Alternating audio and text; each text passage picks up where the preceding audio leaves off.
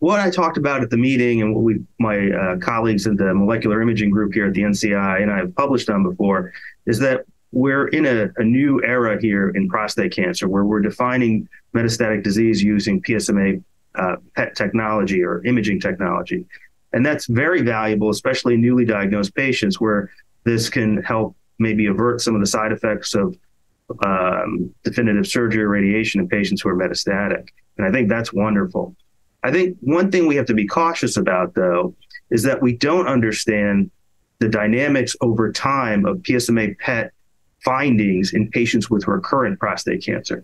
So these are patients with uh, rising PSA after surgery or radiation, and we used to call these patients BCR or biochemically recurrent prostate cancer. And the standard of care for them was to either watch them or consider hormone therapy. There was no clear data that any of these interventions would improve survival. With PSMA PET technology, we are now t- able to take those BCR patients and define microscopic and often clinically insignificant disease. And there is no data actually on how to treat these patients. Many people are defining these patients as metastatic or metastatic castration sensitive prostate cancer and aligning them with trial results from things like uh, Stampede and CHAARTED and Latitude. But indeed, patients on the majority of patients on those trials required conventional imaging of CT scan findings or technetium bone scan findings to be eligible for those trials. So the data that people are using or applying um, to patients with PSMA findings doesn't really apply to that population. And what we're potentially doing is escalating toxicity in a population that we used to watch for years before they had clinically significant disease. There's also great enthusiasm to radiate isolated findings in these patients. Um, I will quote um, Dr. Piet Ost, who uh, gave a great presentation at ESMO that highlighted basically the data in this is limited to about a couple hundred patients, if that, uh, and very limited. And we don't truly know the benefits of that, although that is almost the de facto standard of care.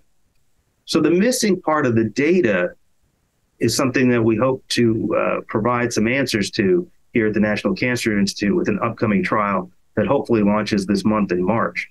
And that is a trial where we will do sequential PSMA scans in patients whose PSA is, is either slowly moving or, or um, has a very slow doubling time, and just monitor those patients over time to better understand the natural history of uh, prostate cancer in patients with PSMA positive findings and negative CT and technetium bone scans uh, patients from around the country can enroll. What we'll do is we'll get baseline imaging. If the PSMA PET is initially positive, we'll share the results with the patient and the doctor, of course.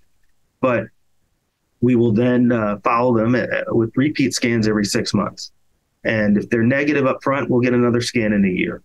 And in this way, we will, um, you know, really start to learn uh, about the natural history of, of and the evolution of prostate cancer that's only seen on PSMA scans and not other imaging. And again, patients can choose if they want over time to get treatment if, they, if that's what they like. Um, but if not, they will help us learn about uh, this somewhat new um, manifestation of prostate cancer.